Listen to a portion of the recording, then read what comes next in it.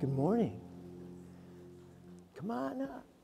I promise to be reasonably good. Are you going to hold it? Stay right near him. Um, some of my friends in the congregation like to tease me a little bit, and they will say, they'll make fun of me because they say I only work on Sundays. They like that joke. They never get tired of that joke. They've been telling me that joke for 21 years here at St. Mark's. It's, they know it's not true. I actually do work here during the week. Um, and I, I visit people in the hospital and visit people in nursing homes, and we have meetings here, and I have an office and everything.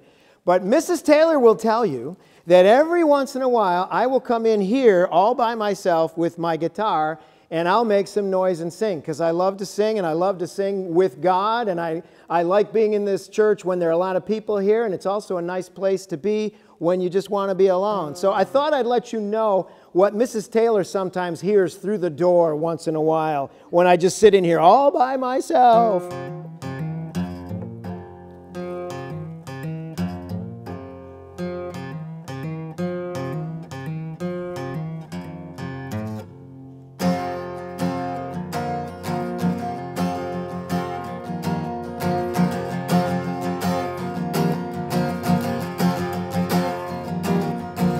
Come on, people, did you hear the news?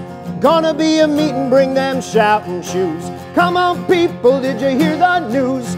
Gonna be a meeting, bring them shouting shoes. I'm gonna meet Jesus cause he's my friend. Gonna be with him until the end.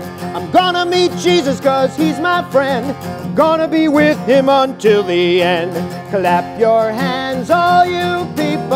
Shout unto God with a voice of triumph. Clap your hands, all you people. Shout unto God with a voice of praise. Christ has died.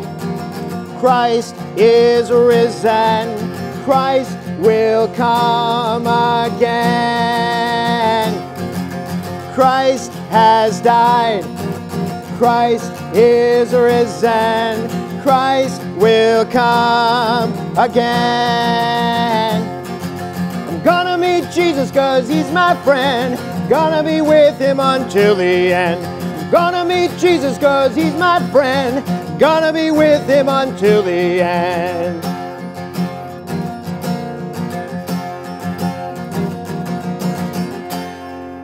I love being in church, and I'm glad you're here, and I hope you'll come a lot. All right, thanks. Thanks for jiving.